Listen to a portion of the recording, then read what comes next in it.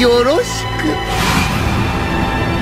サイヤ人はフリーザ軍の命令通りに働けばいい。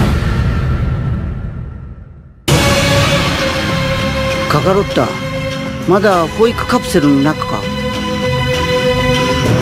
自慢の我が息子よ。お前の潜在能力は天才的だ我が息子ブロリーを辺境の星に飛ばすおつもりだとか。俺はブロリーを最強の戦士に育て復讐をする。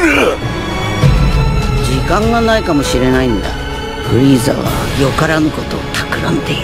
星ごと消えていただく。絶好の機会じゃないですか。絶対生き延びるんだぞ